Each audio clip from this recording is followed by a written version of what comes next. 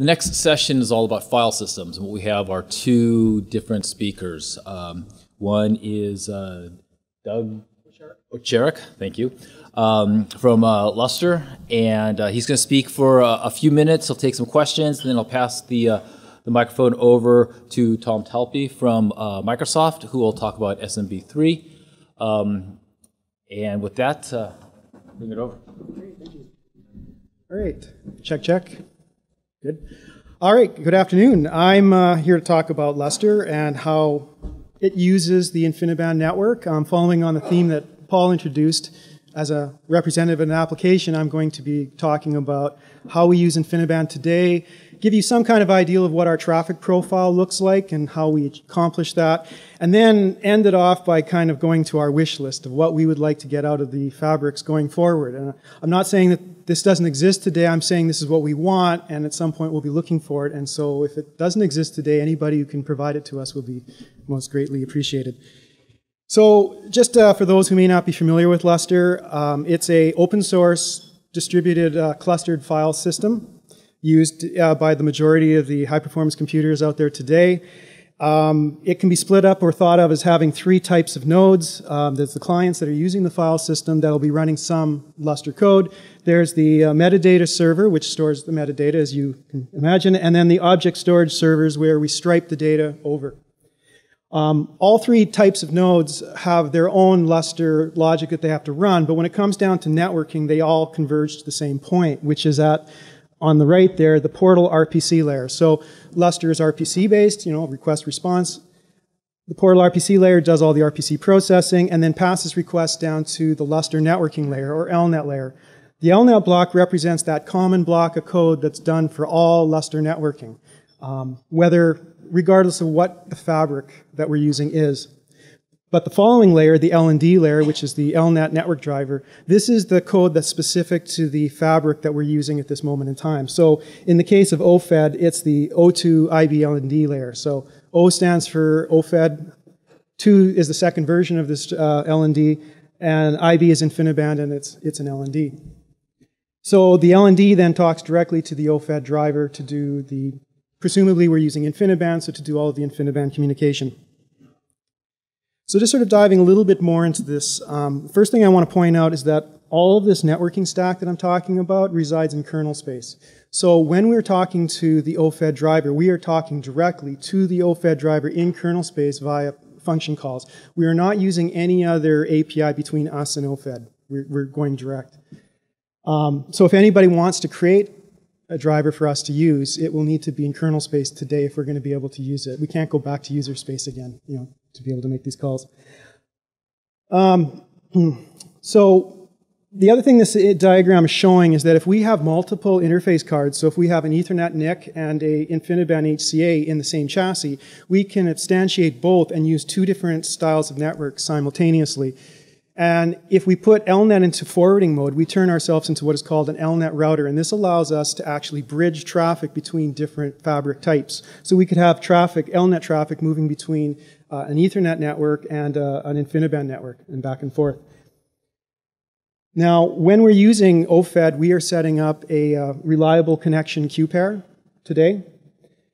And we tend to send just small messages directly over that, and then we use RDMA for larger messages, which I'm going to get into in a moment. Now, one more thing that's not in this diagram that I wanted to point out, LNet does its own flow control. We have um, two tunable parameters. One's called credits, the other is called peer credits. Credits is the maximum number of outstanding messages we allow on a given network at any given moment in time, Peer credits is the maximum number of messages to a given peer we allow at, at any given moment in time. So when Portal RPC passes um, requests down to LNet, LNet has to acquire the credits before it sends the message, or else it just queues it until such a time as it does have credits. So we are self-imposing our own flow control on ourselves. That's not something we're expecting from the network. Although if the network provided it, we would probably use it. So the best way to understand how we do um, our InfiniBand communication is to go through an example. In this example, I'm going through an initiator sending some file data to a, a receiver. So once LNet has received the request from Portal RPC and has acquired the credits, and only once it's acquired the credits, it will then send two things to its LND layer. One is an LNet put header, and the other is a message descriptor pointing to the buffer of the data that we want to send over to the receiver. The LND layer hangs onto the message descriptor and only sends the, the put header all the way through to the receiver's LNet layer. That layer parses it, says, hey, I'm about to receive uh, a packet, or I'm about to receive a buffer of a certain size, allocates the buffer, sets up a message descriptor, and passes that to its own LND layer. That LND layer registers that with OFED and gets back a memory ID. That then gets packaged up into a put acknowledgement message that gets fired back to the initiating LND. The initiating LND then matches that to the, uh, to the payload that it's about to deliver, registers that descriptor, of that buffer um, with OFED, gets back a memory ID. It now has a remote ID and a local ID, puts those together and makes an RDMA write request to OFED. OFED then does the RDMA operation. And when that's done, both LNets clean up, let the portal RPC know that everything is done, and we just keep on going. So something I just want to point out in terms of our characteristic, there are two kinds of messages here. There are unsolicited small LNet headers that we throw back and forth. And then we have the solicited RDMA operations, which are presumably bigger. So we have both small and, I'm going to call them medium-sized messages in this characteristic uh, pattern. The third type of messaging that we do is for a health network. Um, today we use something that's rather not too efficient. Um, every client creates, that creates a, a um, an RC queue, queue pair to a peer will send pings occasionally every so many seconds to see that that peer is alive. Well, if you start to think about you know tens of thousands of clients and hundreds, if not thousands, of servers, the packet storm that we're creating with our ping network today is quite high, and some um, some labs are turning that off because the traffic level is getting too high. Now, unfortunately, that means we can't be too proactive about discovering if a node disappears.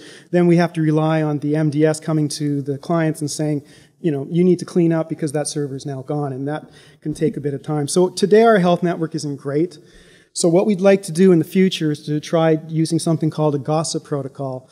Um, I'll let you look this up, but just briefly, it's where one node tells state information to two nodes, and they tell two nodes, and so forth and so on. And so you end up with an order log n, you know, fault distribution latency amongst all your nodes. So if you get a very large cluster, say even a million nodes, and you've got a latency of say 100 milliseconds or less, you can usually discover a missing node in say two seconds or so with this kind of a distribution model. So this is something we'd like to move towards in the future. And so on that note, our little wish list of things.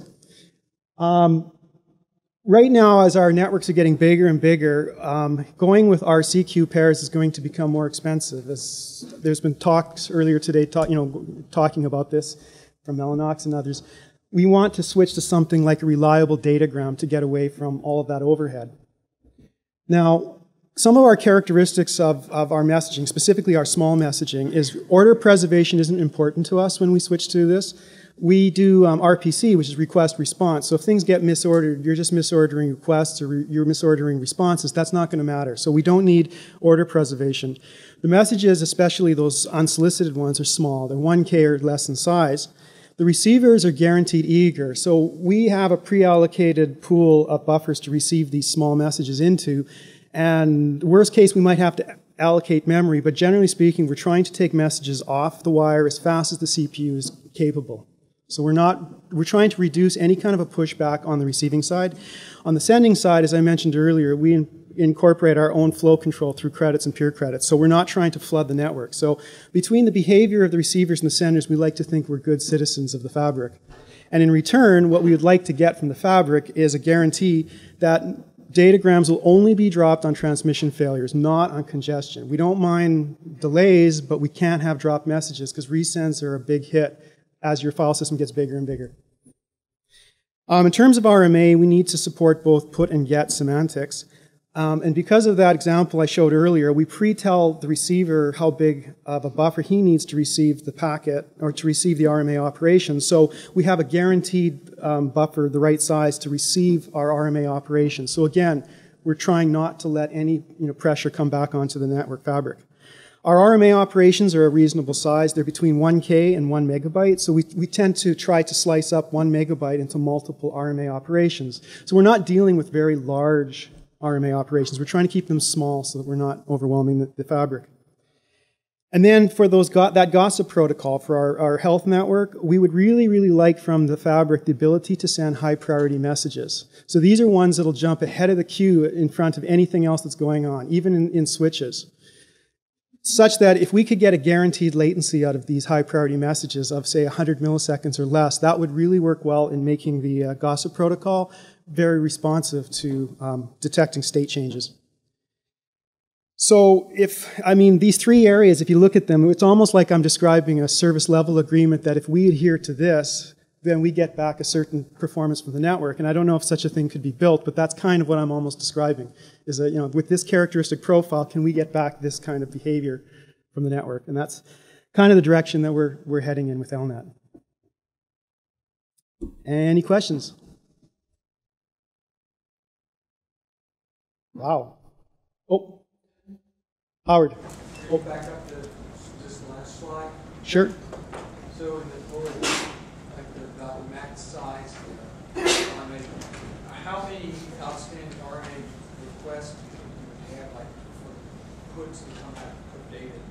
In other words, how many of these registrations might have active at one time that depends on how threaded you're letting LNet be. There are tuning parameters as to how many outstanding RPC requests you will allow which is your concurrency basically from a given node.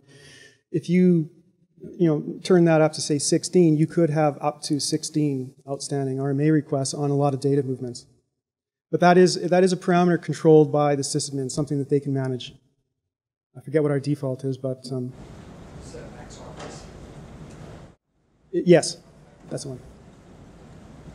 Bob? So uh, we have a problem. So certain messages that aren't replayable, I think is what you say. So Oh. like lock revocations. So what happens is, is, you know, send out a lock revocation, it'll get dropped, uh, because we're breaking RC. uh, And then the node will get evicted. Client eviction, right? yes. We have corrupted files at that point, because you'll have dirty pages. And so sometimes it's, there wouldn't be dirty pages on the node, but other times there would. And this issue around RC, I mean, it looks like there's really no good way to deal with this other than making the reliable connection reliable, right? Um, I mean, you have other input. Uh, I mean, so basically what the problem we run into is that there's this very short period of time that InfiniBand thinks is short, right, or a long time, right? So on the order of 30 seconds. But from the system side, you know, we might we might want to take the system down and have it not be connected for like four hours. and we want things to keep trying, right? And so we want enough tunables in place that say, okay, well, something's gone bad. We want everybody to sort of idle out and stop and go fix the machine. And then uh, come back. And so, you know, TCP keep trying, or, you know, so there's a lot of different network protocols that would do that. But so going forward, that's the kind of thing that we want uh, in terms of, you know, these certain high priority messages that you're talking about.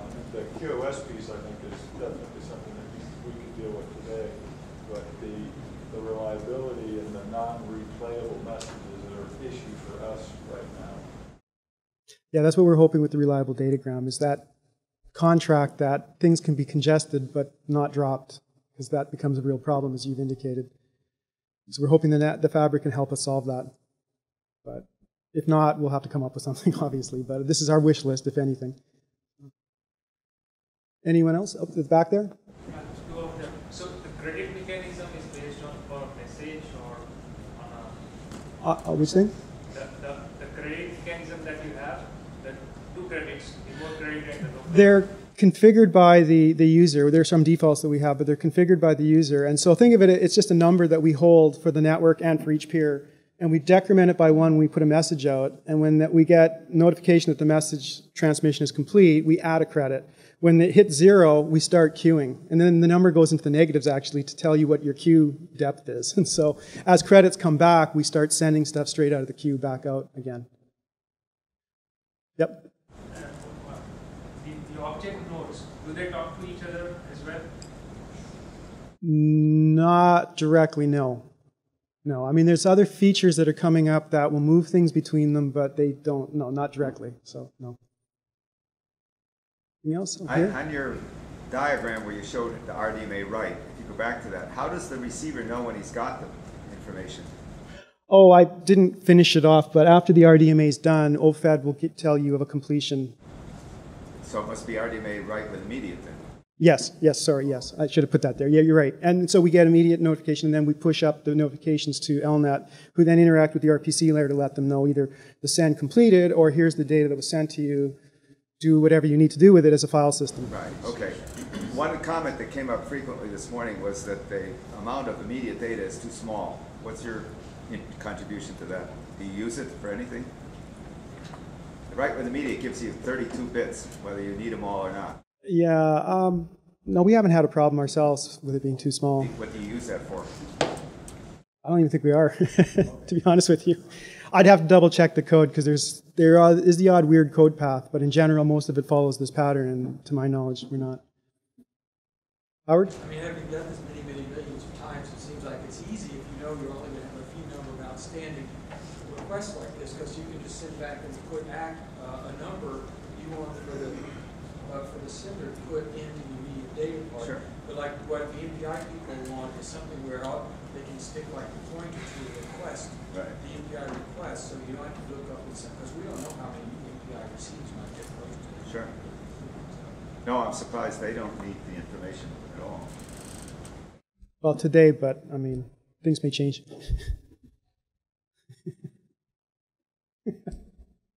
Any other questions? All right, I'll pass it on.